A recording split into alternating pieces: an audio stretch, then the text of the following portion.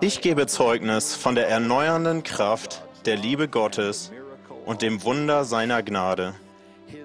Ihm geht es um den Glauben, den Sie irgendwann entwickelt haben werden und nicht um die Tageszeit, zu der Sie dies erreichen. Wenn Sie Bündnisse eingegangen sind, halten Sie sie. Wenn Sie noch keine eingegangen sind, schließen Sie sie. Wenn Sie welche eingegangen sind, sie aber gebrochen haben, kehren Sie um und stellen Sie sie wieder her.